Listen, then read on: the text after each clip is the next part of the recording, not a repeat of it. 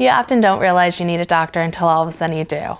The benefit of having a primary care doctor is that you're building those relationships so that when you do have something that comes up, they're there for you and they can help you manage whatever comes about. The other benefits is you see them on a regular basis. They know your history. They're trying to prevent things in the future. They might find things that you didn't even know were going on with you and be able to remedy them or at least assist you with them before they become a bigger issue. So if you don't already have a doctor that you call your own, I highly recommend and encourage you to find someone to build that relationship with so that you can lead a healthy life both now and hopefully in the future as well.